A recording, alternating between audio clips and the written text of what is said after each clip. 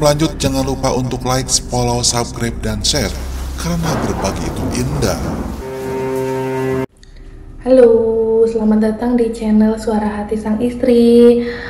Eh, kali ini kita ikutin update yaitu tentang perkembangan berita terbarunya Syahrini. Kan Syahrini itu alhamdulillah ya kabar gembira hamil di usia 43 tahun.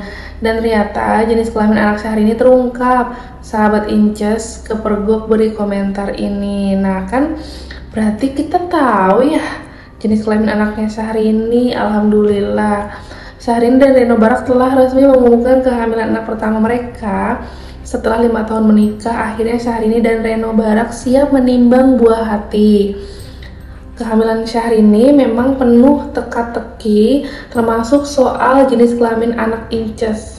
Selama ini penyanyi dengan jargon cantik.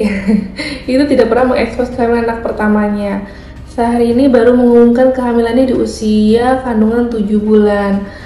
Melalui unggahan Instagram Syahrini mengungkapkan telah melakukan prosesi 7 bulanan di Singapura uh, update terbaru ini perempuan berusia 43 tahun tersebut juga membagikan foto baby bumpnya terlihat Inces mengenakan long dress berwarna putih sementara Reno Barak mengenakan kemeja putih dan jas berwarna abu-abu senada. Inces pun memegang perut buncitnya yang sudah cukup besar. Di sisi lain, kondisi perut buncit Inces yang amat besar di usia kehamilan bu 7 bulan jadi sorotan. Lalu eh, hingga banyak yang berspekulasi kalau Inces sedang hamil. Hingga banyak yang berspekulasi kalau Inces sedang mengandung anak kembar. Diduga jenis kelamin anak Inces juga tak sengaja uh, terungkap. Hal ini ditandai dengan pernyataan salah satu seorang sahabat Inces yang memberikan Komentarnya di postingan Syahrini, dia adalah Raziahkan pengguna akun Instagram @raziahkan.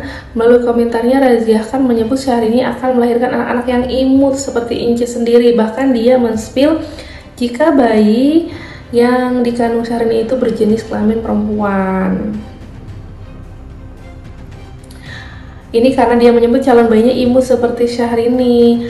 Tumpang kegembiraan buat Pak RB dan Incis yang ini menjadi ratu dan bakal melahirkan princess ini yang imut-imut ke dunia. Semoga sehat senantiasa dan dipermudah sampai lahir nanti. Amin. Raziahkan mengaku turut bahagia atas kabar kehamilan Incis. Ia mengatakan dengan kehamilan ini kini Incis menjadi ratu di keluarga kecilnya. Dan Incis akan melahirkan sosok Syahrini yang imut-imut ke dunia ini. Wah, makin tidak sabar ya menanti kelahiran bayi dari Syahrini dan Reno Barak. Tapi uh, ini juga ada isu dari beberapa netizen yang lain. Ada yang bilang kembar, tapi kemungkinan besar tetap satu bayinya karena kan perutnya tidak terlalu besar.